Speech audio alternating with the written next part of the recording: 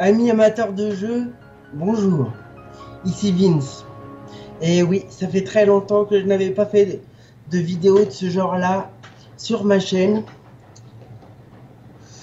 Donc aujourd'hui, je vous propose à la fois un unboxing de la Switch que j'ai fait il y a quelques jours et en même temps une vidéo comparaison des versions de Zelda Breath of the Wild pour la Wii U et la Switch. Désolé, ma langue a un peu fourché. Et pour alimenter cette comparaison et cet unboxing, je vous propose d'être accompagné de mon ami Vince Link Salut à toutes et à tous la compagnie, ici Vince Link du 59, alors j'espère que vous allez bien.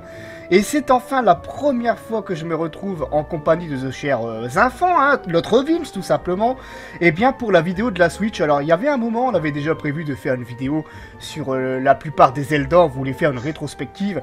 Malheureusement c'est une chose qui n'a pas pu se faire avec le manque de temps pour chacun d'entre nous deux. Mais au final, on a quand même trouvé un petit projet à faire ensemble, notamment bah, comme vous l'aurez si bien énoncé Vin, euh, bah, Vince, hein, et bien simplement... Euh, bah, la comparaison entre Zelda Breath of the Wild sur Wii U et enfin sur la Switch et bien sûr le petit unboxing euh, que nous avait fait donc ce cher Vince il y a de cela quelques jours au travers de Facebook en live. Voilà. Donc mon Vince, je te laisse la parole. Alors moi je serai côté Switch et Vince sera côté Wii U. Voilà exactement. Alors tout d'abord le l'unboxing de la de la Switch donc euh, pour ma part, euh, je suis très content d'avoir eu euh, enfin la console entre les mains parce que je l'avais commandée sur la FNAC le 16 janvier de cette année. Donc il me tardait de pouvoir, de pouvoir tâter du bouton sur cette nouvelle machine qui promet énormément de, de bonnes choses. Tant que c'est pas tâter des, tétons. Hein.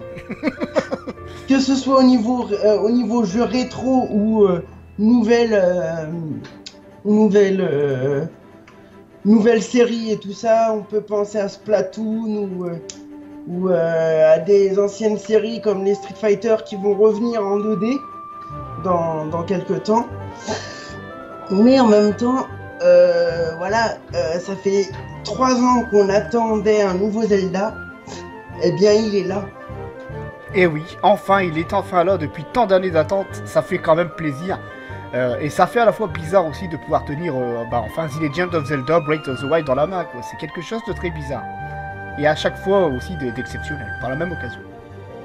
Euh, donc pour parler un peu de l'unboxing, donc bah, je je l'ai fait donc le 3 mars quand j'ai reçu quand j'ai reçu la console euh, par la poste.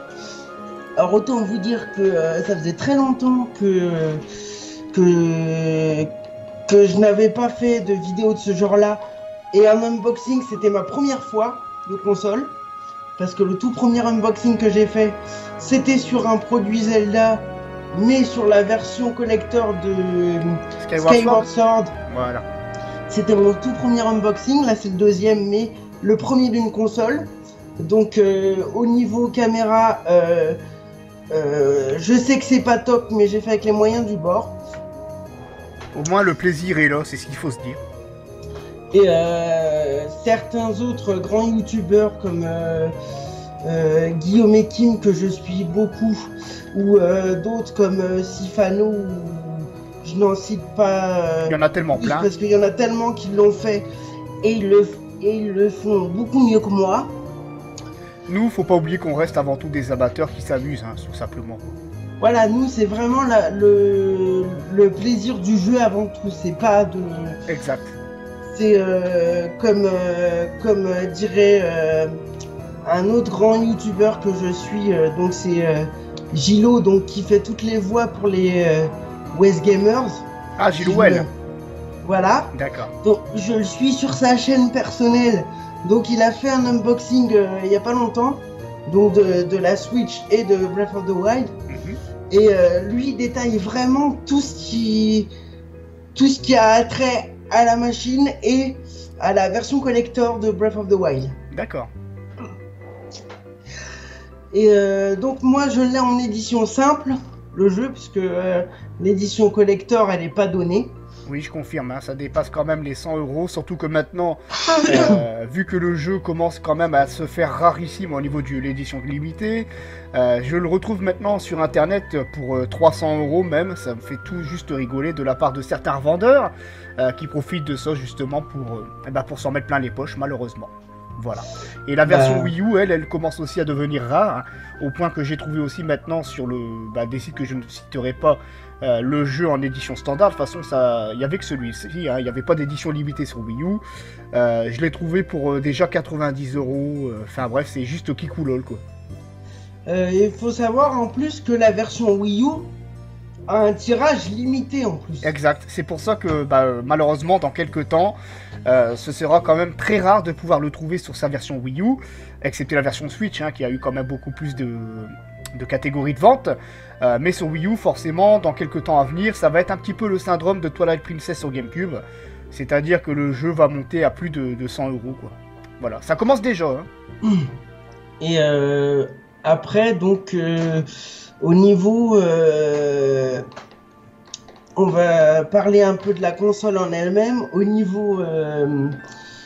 Euh, comment je peux peut-être? expliquer ça? Alors, déjà, la prise en main est rapide. Mhm. Ouais, l'ergonomie euh, donc. T'as t'as pas de. T'as pas de. T'es pas en train de chercher les boutons, t'es pas en train de. De, de te dire mais où est-ce qu'il faut que j'appuie, c'est vachement. euh, C'est intuitif à ce niveau-là, je pense. Ouais, elle est très intuitive, sauf il y a un petit bémol que pas mal ont, ont, ont relevé, c'est le, le placement des sticks. Ah oui, d'accord. Bah moi par contre, je ne pourrais pas dire car je n'ai jamais tenu une Switch encore dans la main, mais euh, j'ai vu éventuellement quelques vidéos qui font montrer de plus près euh, à quoi ressemble euh, le, le gamepad, on pourrait dire, enfin la tablette euh, plus précisément, euh, parce qu'il y a plusieurs styles de manettes différentes, hein, notamment avec la manette Pro, euh, euh, les Joy de con, hein, moi j'appelle ça comme ça, les Joy-Con, tout simplement. Et euh, après, bon, je n'ai jamais tenu ne serait-ce qu'un seul objet de la Switch dans la main. Mais j'ai suffisamment regardé en vidéo quand même pour voir à quoi ça ressemble. Mais je te laisse directement dire ce que tu penses par rapport à, à- au stick analogique. Mais c'est vrai que le, le stick droit aurait mérité d'être un peu plus haut, mais bon, c'est pas gênant parce que moi là, je vais être honnête avec ma mobilité au niveau de mes deux mains, bah, la console je la pose sur la table quand je joue au niveau en position tablette ou alors debout euh, et en position manette euh, comme on pouvait l'avoir avec le petit écran, euh, comme ils disent la, la version portable pour jouer avec des copains Mhm. ou moi j'ai fait que deux versions pour l'instant. J'ai fait version télé et version tablette posée comme si tu la trimballais partout. Ouais, dû au fait que la console se veut hybride à la fois, euh, notamment en termes de console de salon que tu relis sur ta télévision, ou alors bah, en guise de console portable avec la tablette dans les mains. Euh, chose qui est plutôt intéressant, qui existait déjà à la base avec la Wii U, sauf qu'avec la Wii U, forcément, tu pouvais pas trop t'éloigner par rapport à la console, parce qu'à peu près au-delà de 10 mètres, euh, eh bien celle-ci perdait directement le signal par rapport à la console, ou alors s'il y avait un mur en plein milieu, c'était un petit peu la catastrophe. Oui. Oui, j'ai- déjà testé avec la Wii Ouais. U. Exact. Euh, bah en fait, tu peux pas. euh, si t'es près de la console, ça marche. Voilà. Mais si t'es un petit peu éloigné, là par contre, ça va un petit peu foirer le coup, Mais- quoi. Mais si le fuseau est éloigné par rapport à toi, bah là, la, la connexion, elle est complètement perdue. Voilà, en gros, on peut dire que la Switch est une évolution par rapport à la Wii U, malgré que pour moi, je considère que la Switch reste une Wii U 2. bis, euh, dans le sens où c'est presque la même euh, technique qui est utilisée à l'intérieur, si ce n'est qu'il y a plus de RAM, une puce Nvidia plus puissante forcément. Euh, mais moi, j'ai quand même constaté un truc au travers de cette machine.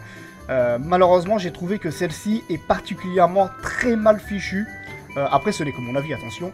Euh, au niveau de sa construction, au niveau du fait que le, dock où on place la tablette à l'intérieur se veut cheap, il suffit de faire ne serait-ce qu'une petite pression pour que le dock se plie. Et en plus de ça, il s'avère que le dock peut rayer l'écran, donc faire très attention par rapport à ça.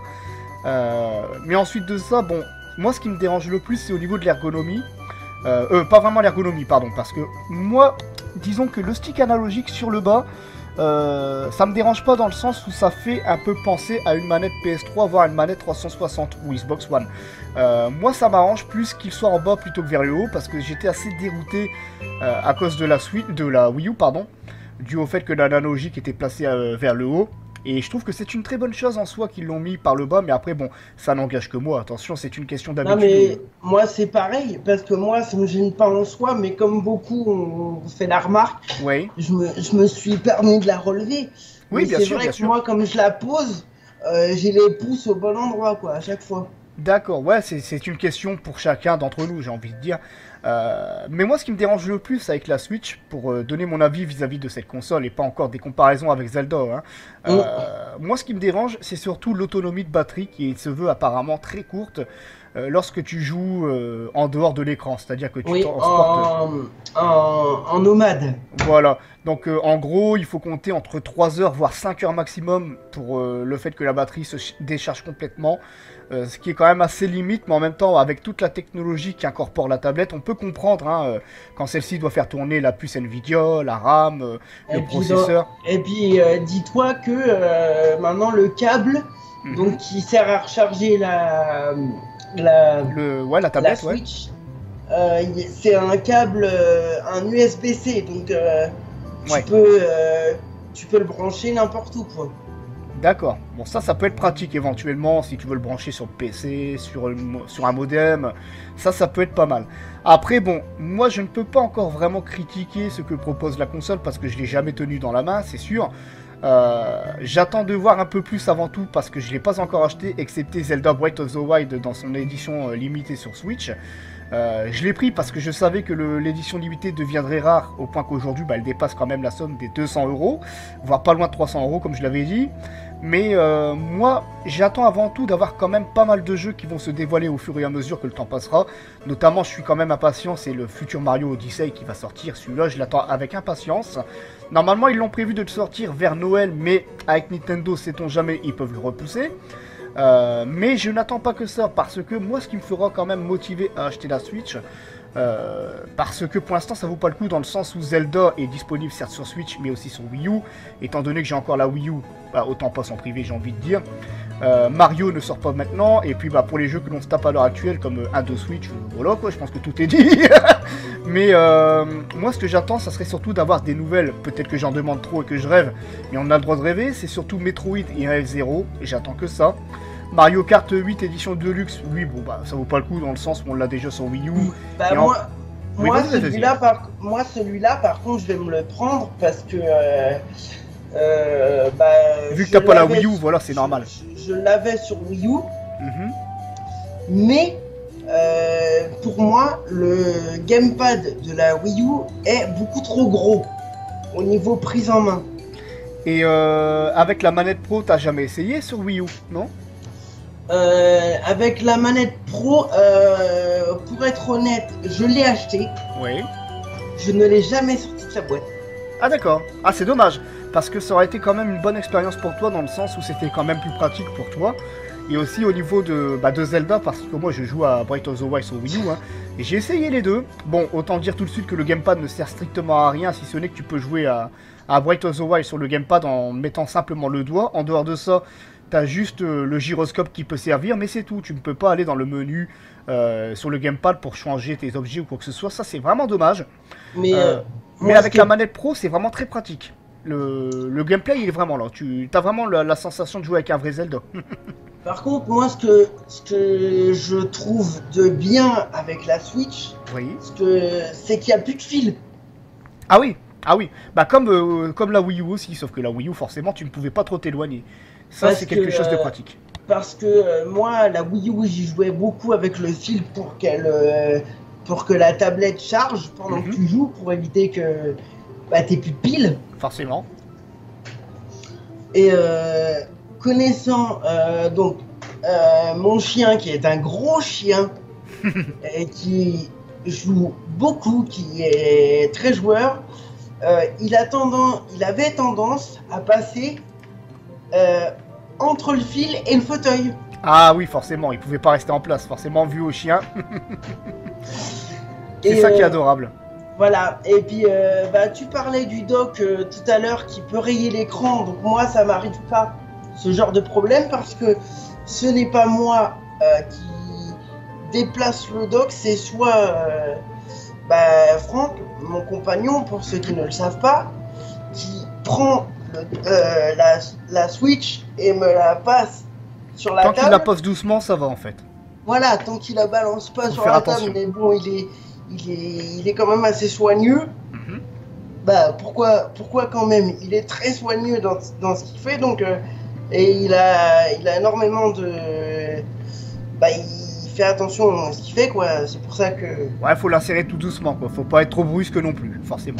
Ah non non, il la pose, euh, il la pose euh, comme elle doit être posée quoi. Il la pose pas, tu sais, du genre tu mets un- une, euh, une tartine dans un grille-pain quoi. Exact, exact. non, parce qu'il y en a qui le font aussi, attention. Ça, faut quand même le dire. Ah non, non, c'est moi. euh, déjà, faut savoir que pour défaire la Switch du dock, c'est pas moi qui le fais. D'accord, d'accord. Bon, bah, c'est bon à savoir.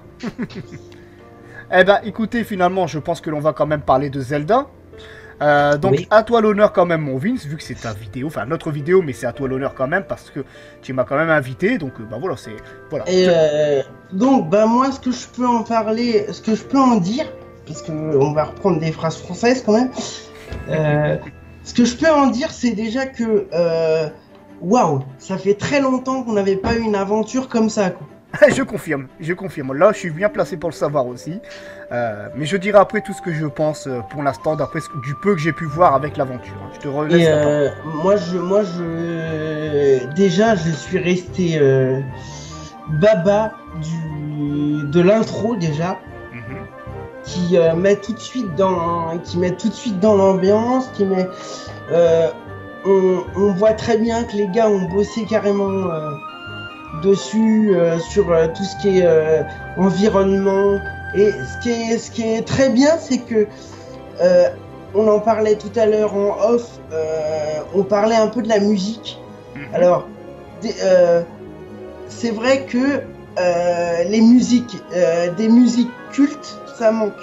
Mais en Exact. même temps, mais en même temps, c'est très bien parce que ça te, ça te plonge comme si c'était toi qui étais à la place de Link.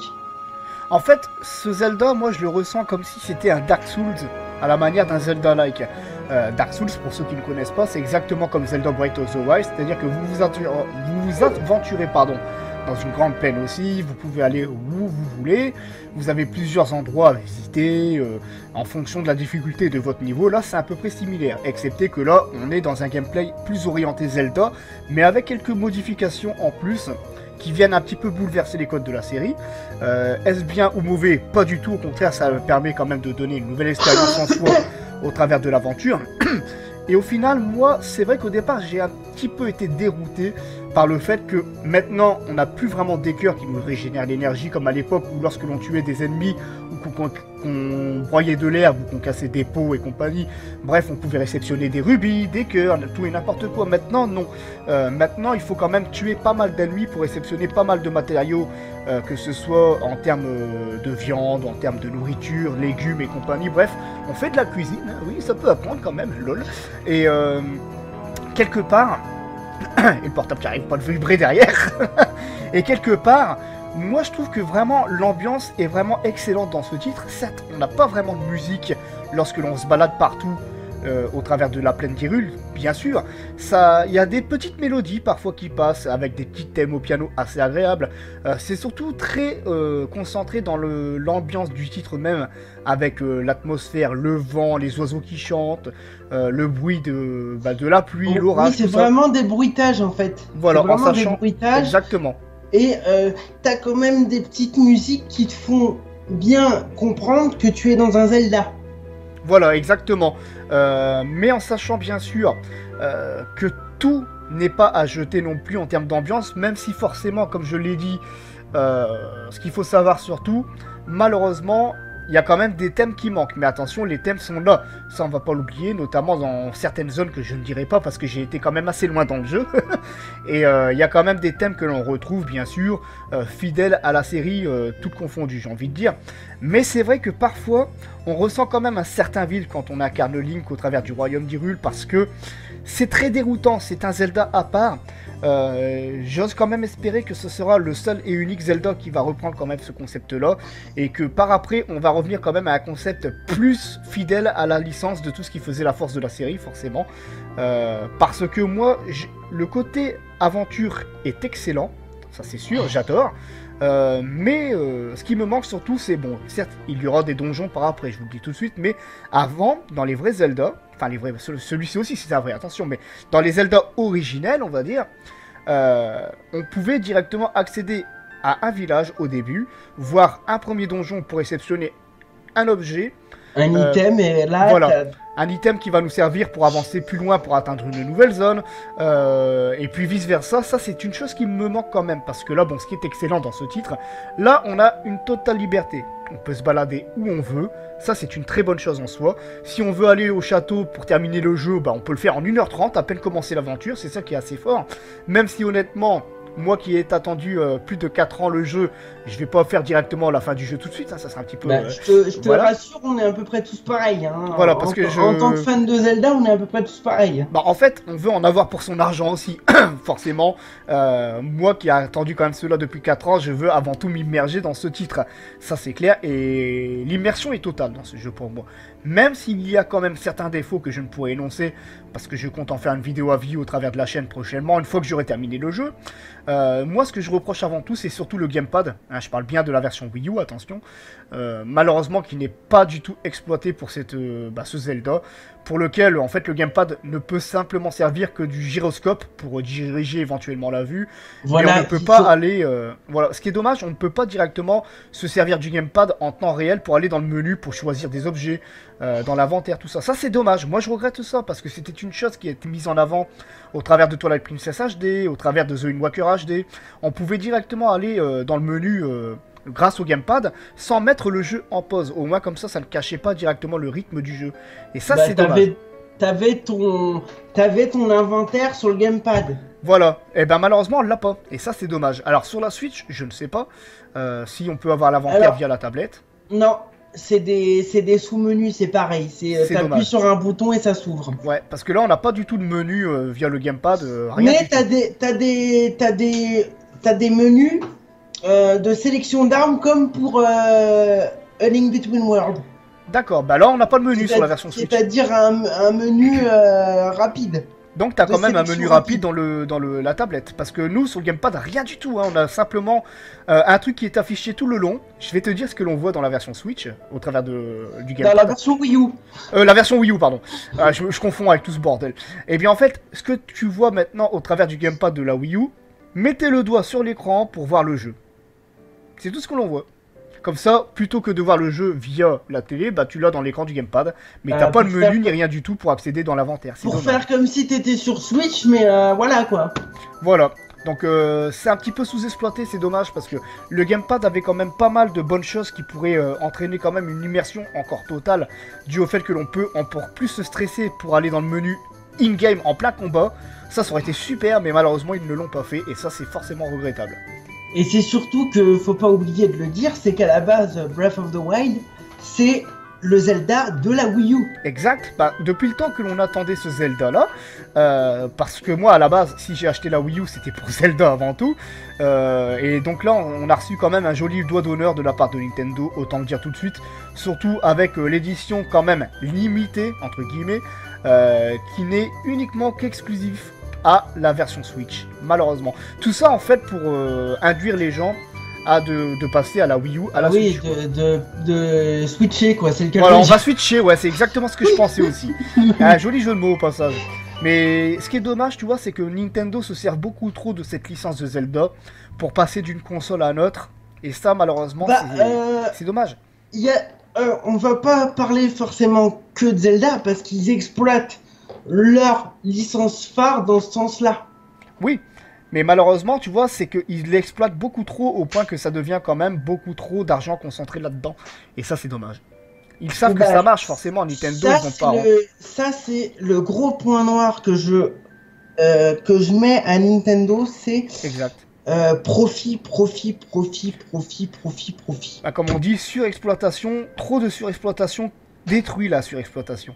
Et le problème, c'est là qu'on en a la preuve ici même, avec tous ces éditions limitées qu'ils font à chaque fois qu'il y a un Zelda qui sort. Et là, comme par hasard, Zelda Breath of the Wild qui arrive sur Wii U, ah bah non, bah il y a quand même la version Switch qui arrive derrière avec une édition limitée, bien sûr. Sinon, ce serait pas marrant. et euh, tu, te, dis que, euh, en fait, euh, bah, t'as le plaisir du, t'as le plaisir du jeu parce que en tant que que joueur assidu de Nintendo depuis ses débuts, moi ah je peux en parler aussi parce que mes parents, euh, quand, euh, quand on était petits, donc avec mes frères et sœurs, mhm. euh, notre première console, ce, n'était ni plus ni moins que la NES. C'est vrai. Donc voilà. moi aussi, c'est la même chose. J'ai baigné dans, dans Nintendo World dès le début, quoi. Ça ah bah moi de même. Dire qu'à la base, Zelda, je l'ai connu grâce à mon père. Euh, on a, j'ai grandi avec ça, on a joué ensemble. Je peux te dire que avec le premier Zelda sur NES, c'était impressionnant parce qu'à un moment donné, on était bloqué pour la petite anecdote pendant une semaine pour chercher ne serait-ce qu'un seul donjon. Euh, c'était un tableau qu'il fallait répéter 5 fois vers le haut pour débloquer un donjon. Salopard. Alors moi, moi j'ai la même j'ai même expérience euh, à peu près, mais sauf que bah moi c'était mes parents qui jouaient tous les deux. Et euh, nous étant euh, trop jeunes à l'époque, encore un peu trop jeunes, euh, on regardait mes parents jouer et donc mon père avait la manette lui dans les mains et ma mère elle avait la carte. Ah, pas bête, pas bête. ça c'est pas mal, mais tu vois, ça c'est tous les souvenirs qui restent en fait. C'est pour ça que Zelda c'est très nostalgique quand même quand on y repense. Et le fait de revoir tous ces flashs de souvenirs quand on été petit, tout ça, c'était quand même quelque chose qui, bah, qui nous force quand même le respect parce que euh, quand on voit Zelda, on est obligé de s'y attarder plus davantage parce que c'est toujours quelque chose d'unique en fait. C'est toujours une nouvelle expérience à chaque opus et justement, en parlant d'expérience, bah Bright of the Wild, lui, on est bien placé pour le dire, c'est une sacrée bonne expérience tout simplement. Voilà. Et euh, moi je sais que mon premier Zelda, parce qu'on va faire un petit, un petit historique dans ce sens-là, c'est-à-dire on va donner nos, nos impressions nous avec les anciens opus. Moi, je sais que le premier Zelda que j'ai fini avec mes frères, euh, c'était A Link to the Past. D'accord. Le tout premier. Et là, euh, tu te dis, euh, waouh, déjà A Link to the Past, c'était une grosse claque, quoi. Oh que oui, c'était une sacrée belle aventure. Et sans parler de l'OST aussi qui était exceptionnel, quoi la musique était tout bonnement belle. Moi, pour ma part, mon premier euh, Zelda terminé, bah, c'était Zelda premier du nom sur NES. Le 2, j'avais jamais réussi à le terminer tellement qu'il était horriblement difficile. D'ailleurs, j'ai réussi à le terminer il y a pas si longtemps que ça sans perdre une seule vie. Je sais pas comment j'ai fait, mais enfin bref. Euh, en sachant que Zelda NES, j'ai terminé uniquement que l'aventure principal, parce qu'après il y a aussi le New Game Plus qui est encore plus difficile, euh, parce que idem aussi pour Zelda 2 au passage que je n'ai jamais tenté, que je veux, j'ai même pas envie de le faire. Euh, mais Zelda premier du nom, je me souviens très très bien. Quand tu fais le, le mode New Game Plus, lui je l'ai terminé, mais j'ai eu beaucoup de mal. Quand tu atteins un certain donjon dans Zelda NES en New Game Plus et que tu n'as pas assez de rubis, il se trouve que tu as une pièce pour laquelle il y a un PNJ qui est enfermé dedans et il te demande que pour ouvrir la porte qui se trouve devant lui, il faut soit lui donner autant de rubis ou un cœur. C'est-à-dire que si jamais tu as pas assez de rubis, tu es obligé de lui donner un cœur parce que tu peux même pas revenir en arrière parce que la porte qui est derrière toi est fermée. Ouais Merci les mecs. Et en plus, euh, bah moi ce que j'ai fait, c'est que j'ai pas voulu enlever un cœur, donc j'ai reset la console. Mais qu'est-ce qui s'est passé? C'est que je n'avais pas sauvegardé avec les 4 précédents donjons que j'avais terminés Ouais Donc j'ai dû tout me retaper, super T'as dû tout refaire Ah ouais, j'étais euh, content. Et après, ah. bah, je suis devenu tellement parano que je me suis euh, retapé tous les donjons avec le maximum de rubis. après, bah moi, le, vrai, euh, le, vrai Zelda que j'ai terminé moi, le vrai premier Zelda que j'ai terminé plusieurs fois d'ailleurs, euh, c'était euh, Ocarina of Time, bien évidemment. Ah oui, le premier Zelda 3D, forcément, qui est pour ma part le, bah, le Zelda que j'ai le plus aimé, toujours et encore à l'heure actuelle, l'un des plus touchants, l'un des plus beaux, surtout pour son époque. Et je peux vous dire que lors du passage de la 2D à la 3D, celui-ci était tout bonnement magnifique.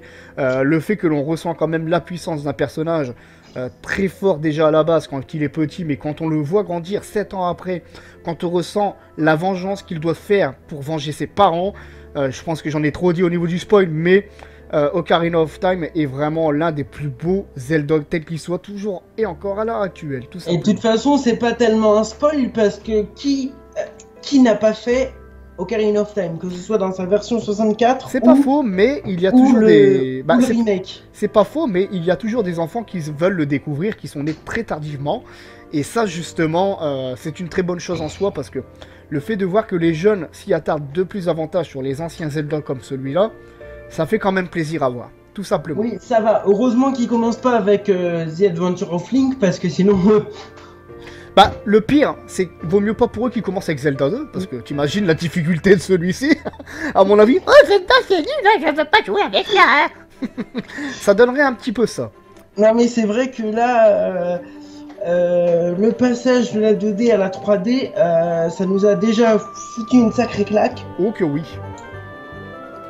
Après, euh, moi, je suis passé directement de Ocarina of Time à, on va dire, euh, The Wind Waker. Ah ouais, donc t'avais pas connu euh, Majora's Mask Si, mais Sur le je, je n'y avais pas joué moi-même. Ah d'accord.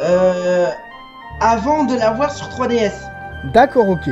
Ouais, donc tu l'as un petit peu connu, on va dire, sur le tard, entre guillemets. Quoi parce que euh, bah, la, la 64, j'ai pas eu l'occasion de l'avoir dessus parce que mhm. j'avais déjà Ocarina, on avait déjà Ocarina of Time et puis euh, bah on cherchait des jeux surtout à jouer à plusieurs parce qu'on était on est quatre quand même. Ah oui oui forcément. À l'époque on jouait euh, surtout à des jeux où on pouvait jouer tous les quatre. Mhm. Donc style Mario Kart. Ouais, ou euh, Mario Party, ou des jeux comme ça, quoi, forcément. Voilà, ou des euh, GoldenEye, parce que forcément. Ah, GoldenEye Faut pas que des jeux pour gamins, quand même. Ah oui, oui heureusement, même Perfect Dark, il était super.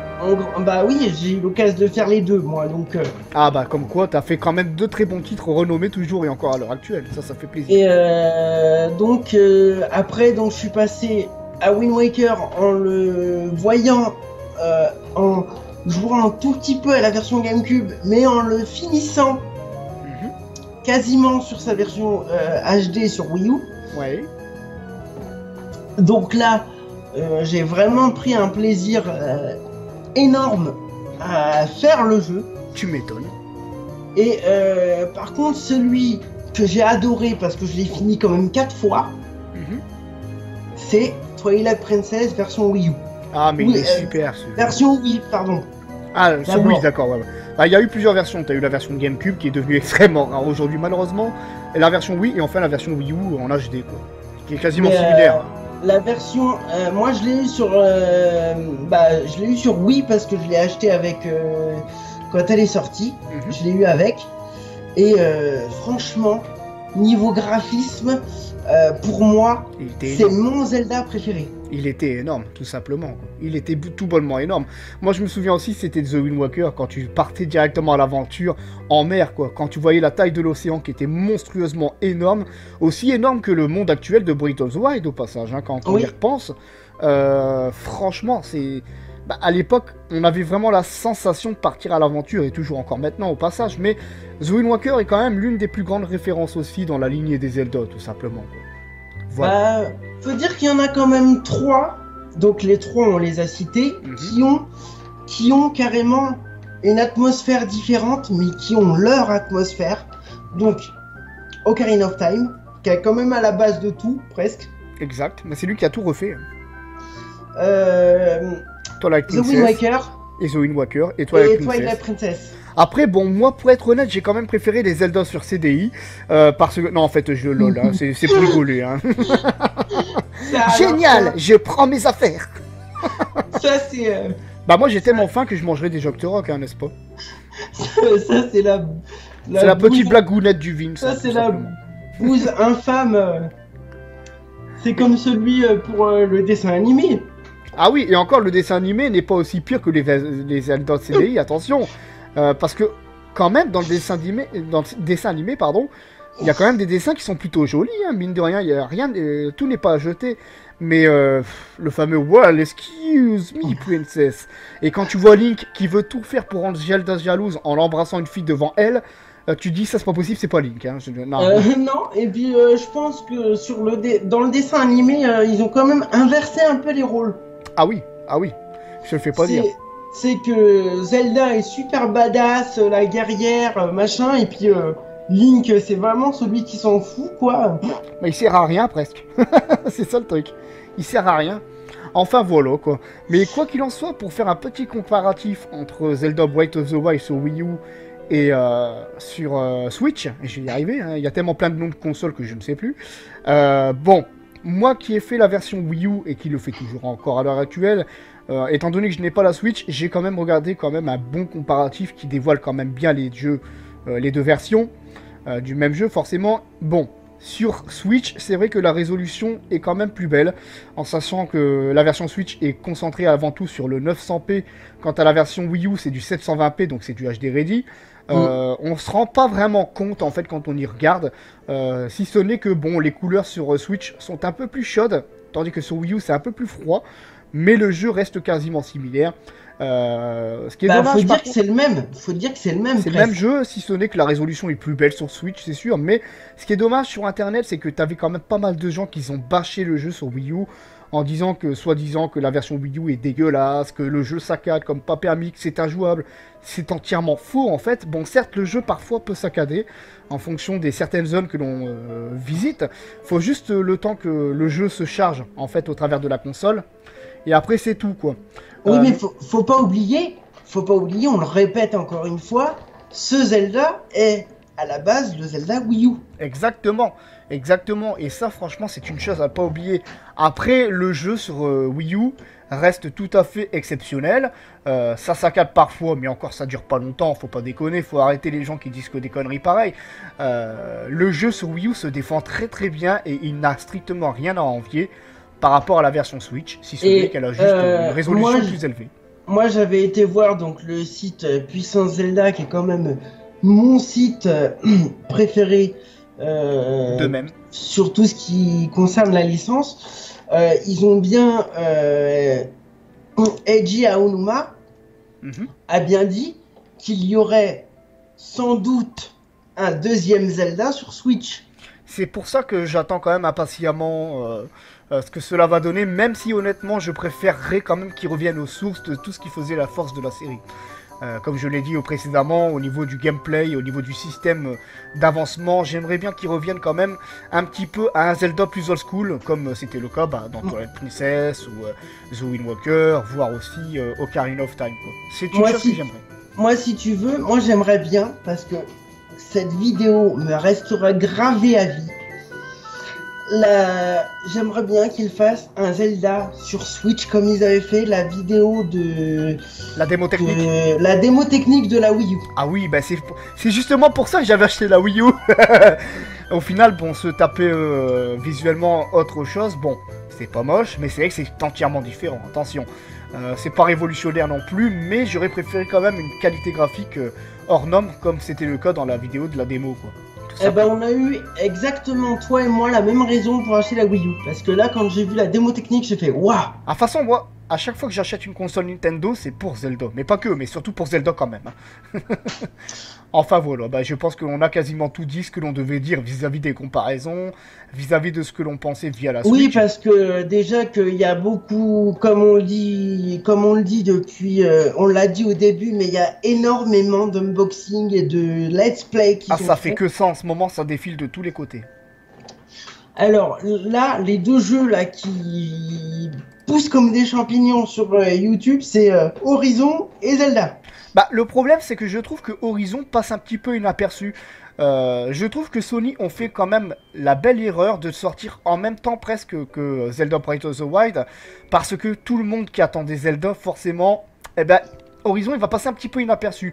Pas trop non plus, un mais, comparatif- ils font un comparatif dessus aussi. Exact. Ils comparent les deux jeux alors que c'est pas C'est du pas tout du la tout même là, ouais, mais ça c'est complètement débile. Euh, c'est pas du tout comparable. Bon, c'est sûr que Horizon est beaucoup plus beau, hein, ça on va pas se voiler la face, mais en même temps, quand on voit les deux machines différentes entre la PS4, Switch, voire Wii U, euh, si on le souhaite, euh, on peut pas comparer. Les deux jeux ne se valent pas. Deux jeux à son, euh, bah, ils ont leur ambiance propre à eux-mêmes, tout simplement. Ce n'est pas du tout la même licence, si ce n'est qu'il y a quand même certaines choses qui re- se reprennent au travers de ces deux titres. Euh, c'est pas du tout la- le même genre de jeu, quoi. On peut pas trop comparer ça. Et euh, oui, c'est ce que disait, c'est ce que disait, parce que je vais en reparler, parce que c'est quelqu'un que j'apprécie beaucoup. Euh, D'ailleurs, j'espère au passage qu'il verra la vidéo et je ferai tout pour. Euh, c'est ce que disait euh, Gilles Oel, en disant que euh, les gens qui comparent Breath of the Wild à Horizon n'ont rien capté. Bah, ils ont rien compris, tout simplement. Ils ont rien compris. Moi, j'ai envie de dire une chose. Tu sais qu'est-ce que je veux dire? Lol. Voilà, tout simplement. Voilà, parce que c'est pas parce que tu reprends des éléments d'un jeu ou euh, d'un type de jeu que ça va être le même jeu. Exact. Exactement. Voilà, je pense que tout est dit. Parce qu'il faut savoir que quand même Breath of the Wild est le premier Zelda qui s'a- qui s'aventure sur ce terrain. Exactement.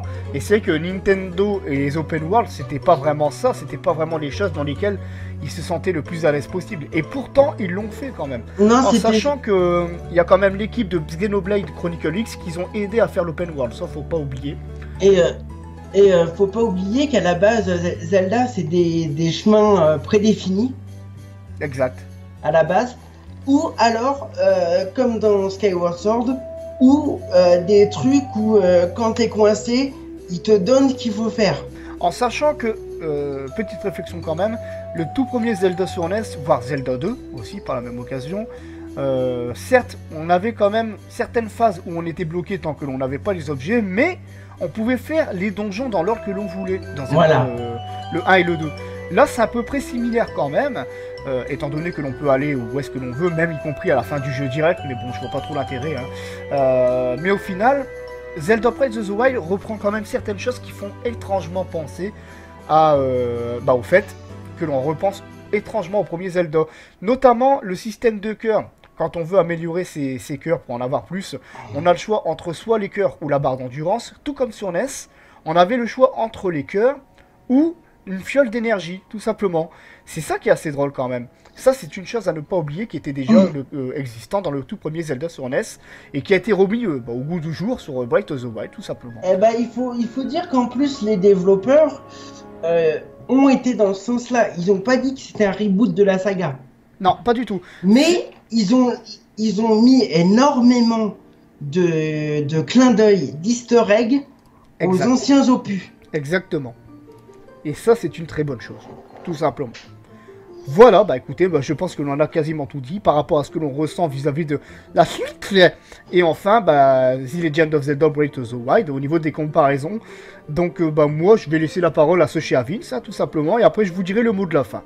Et euh, bah écoutez, euh, moi étant euh, un tout nouveau possesseur de la Switch comme beaucoup, euh, il Sauf me moi. tarde, il me tarde de rallumer ma console et de me replonger dans le jeu parce que un Zelda, c'est comme un bon bouquin. Exactement. Quand tu es dedans, euh, si le si le jeu est bon et si le comme c'est le cas pour ce Zelda ou Goku, euh, t'as du mal à t'en défaire. Exactement, je confirme. Je suis bien placé pour le savoir.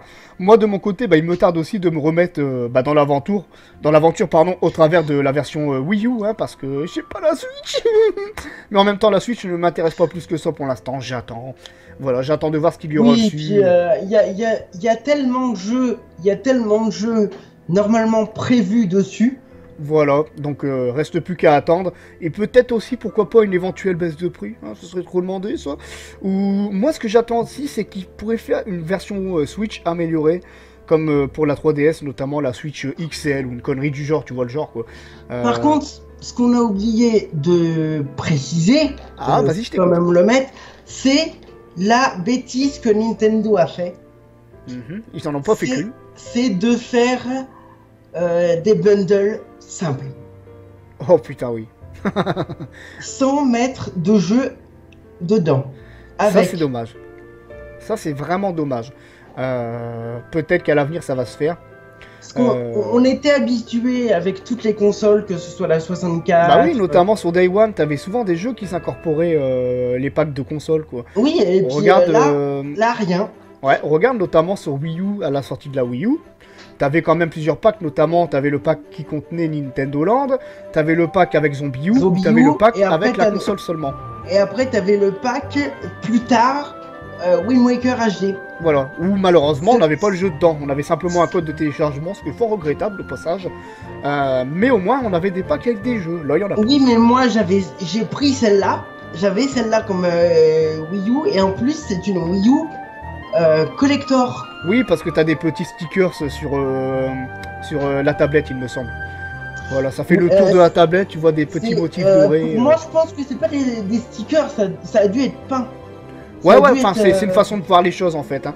Mais disons que t'as des dessins colorés à la manière de la Star Voilà. Zelda, tout simplement. Quoi. Bah, comme toutes les consoles euh, jusqu'à la 3DS XL. Hein, ce que j'aurais euh, préféré ce qu'ils fassent, Nintendo, c'est de nous incorporer le collecteur de la Wii U avec euh, le semi-collector de The Wind Waker. Tu vois, euh, quand on achetait le semi-collector, t'avais le jeu en disque et t'avais la figurine de Ganondorf. Chose qui Bah, n'était pas le cas. euh, moi, je, moi, j'aurais préféré qu'ils fassent le collector pour la Wii U. Ah bah oui, mais forcément la Switch ne se serait pas vendue et ça c'est dommage. Parce que comme c'est... Bah, ou alors faire deux, deux collectors euh, différents. Mais euh, en faire... euh, voilà. En faire un pour la... Pour, euh, Ah non non non non, sinon mon portefeuille, il, mon portefeuille il aurait valsé. Non, mais on va dire que la Wii U, à part le jeu, là, elle a rien. bah oui, c'est ça le problème. Malheureusement Nintendo veut inciter les joueurs à tous à passer sur la Switch quoi. Mais pour l'instant ça vaut pas le coup. Surtout que bon, le line-up de la Switch, euh, bof, c'est pas ça quoi. C'est pas du tout ça. Malheureusement. Non, Enfin, puis, voilà. euh, non, À moins que tu veux acheter euh, un 2 Switch. euh, non. Non, bah bon non, Non, non, euh, moi en, en jeu, là, ce- celui que j'attends surtout pour qu'on puisse jouer euh, bah, tous les deux avec Johan, euh, c'est Arms. Ah oui, oui, celui-là aussi, il a l'air d'être pas mal. hein. On verra bien ce que ça donnera, tout simplement. Bah écoutez, sur ce, la compagnie, quant à moi, eh bien, je vais donner directement le mot de la fin. Euh, donc, quoi qu'il en soit, bah, un grand merci à toi, mon Vince, pour m'avoir invité au travers Ah, de cette vidéo. Bah, c'est moi qui te Euh, remercie parce que voilà ça faisait de- très longtemps que j'en avais pas fait. Exactement. Et comme on l'a dit au tout début, ça faisait tellement longtemps qu'on voulait faire une vidéo tous les deux. Et là, bah, c'est réussi. Enfin, on a réussi à la prendre. euh, à prendre du temps, tout simplement. Et on l'a fait, tout simplement. Voilà. Ne jamais dire jamais, tout simplement. Bah, de toute façon, et il faut jamais procrastiner parce que tout arrive. Ah bah oui, c'est clair. Et bah quant à moi, bah écoutez, bah voilà, j'ai vraiment participé avec grand plaisir, quoi qu'il en soit, avec ce brave Vince. Et j'espère que nos avis vous auront bien plu, que, nos débats vous auront quand même intéressé. N'hésitez pas à nous donner quand même vos ressentis via les commentaires. Quant à moi, eh bien je laisse le mot de la fin à ce brave Vince, tout simplement. Et euh, bah, sans oublier qu'on dit, euh, on, on passe un gros bonjour à nos amis euh, habitués hein, depuis le temps. Voilà, grand Donc, coucou euh, à tout le monde, on les oublie pas. Steve, Steve, Mumu, Ah oui, Nathalie- Steve McQueen 1, Nathalie- Mumu. Nathalie qui malheureusement n'est pas là. J'aurais adoré qu'elle soit là, elle aussi, pour, Grand coucou pour, à elle. euh, pour, euh, nous aider. Mais euh, ce sera peut-être une prochaine fois. Oui, voilà, comme on dit, jamais dit jamais.